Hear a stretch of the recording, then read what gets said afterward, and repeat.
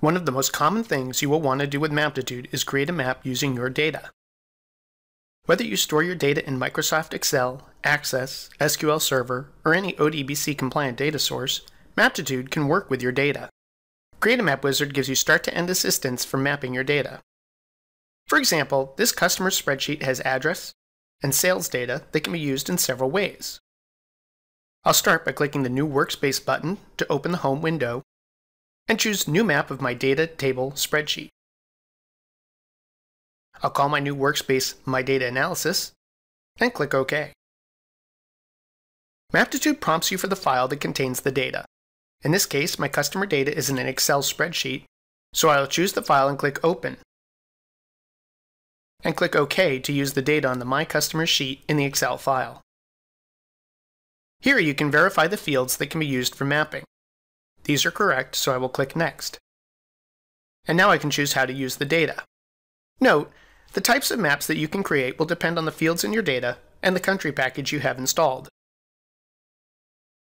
This option will allow me to aggregate the customer data by postal code and create maps that, for example, show the number of customers in each postal code or the total or average sales for each postal code. Choose whether to import the data from Excel or to link it to the Excel file.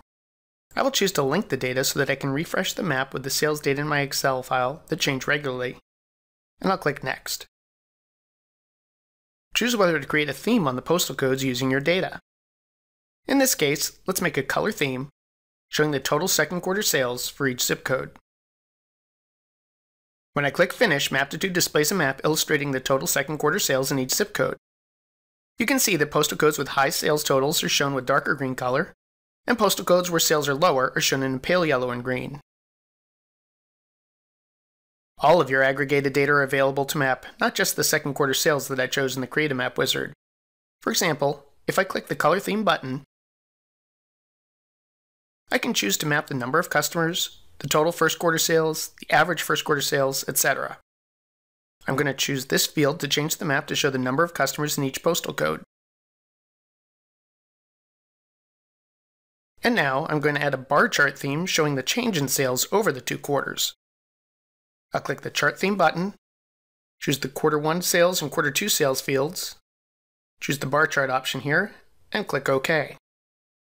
Maptitude adds the theme to the map. Let's zoom in to see the downtown area. You can see that there were many customers and sales were high and increased in this zip code, and there are fewer customers and sales also decreased in this zip code. Next, I want to create a map that shows exactly where all of my customers are located. At this point, I could save and close the workspace and start over in a new blank workspace as I did earlier. Alternatively, I can add the customers to this existing map or to a second map in this workspace. To do that, choose Map, Add Table Spreadsheet to a map, and again choose the Excel file and worksheet that contain the customer data. But this time, choose one of the Locate options. I want to locate my customers with as much precision as possible, so I'm going to choose this top option. Maptitude will try to locate all my customers by address, and then for any records that it cannot find by address, Maptitude will do its best to find a good approximate location. I could add the customers to this existing map by leaving this box checked, but I want to create a second map in my workspace, so I'll uncheck it and click Next. Again, I can choose whether to import or link the data to the map. I can link the data to the map provided that each record has a unique ID, which I do, so I'll specify it here, and click Next. Here I can choose whether to show the customers with a theme. For example, I could show them with different sizes based on their sales, or I could show them with different symbols or colors based on their sales territory. I'm going to show the customers with a color theme based on their sales territory and click Next. Here I can choose whether to perform any analysis on the features. For example, if you're looking at retail sites, you may want to build buffers around them to study the surrounding area. Or if you're locating customers, you may want to find hotspots where they are concentrated. In this example, I'm going to determine the area that encompasses the customers and its weighted center based on sales. Maptitude reports the number of records in the Excel file that were located. Notice that it shows that there were 4,509 records in the Excel file, and Maptitude was able to find the address and zip code of 4,466 of those records.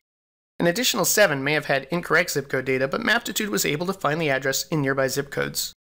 And another 2 had no zip code information, but Maptitude was able to find them using the address and city. Maptitude could not find 34 of the addresses. Perhaps they were P.O. boxes, or they just listed the name of a building or shopping center, or perhaps they simply had incorrect information. Maptitude located these records at approximate locations within their respective zip codes. I'll go ahead and close the report, and now Maptitude displays the map of customers with a color theme showing their sales territory and the weighted center and encompassing area. All of the original Excel data are still associated with the customer features. So I can, for example, add a size theme that also shows each customer's sales. I'm going to use the zoom in tool and zoom in on Denver, and if I use the Info tool and click on any of the customers, I can see information about their name, address, sales, and territory.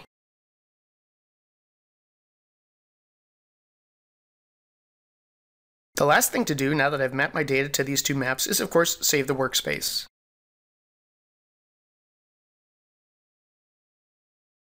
And that sums up how to map your own data in Maptitude.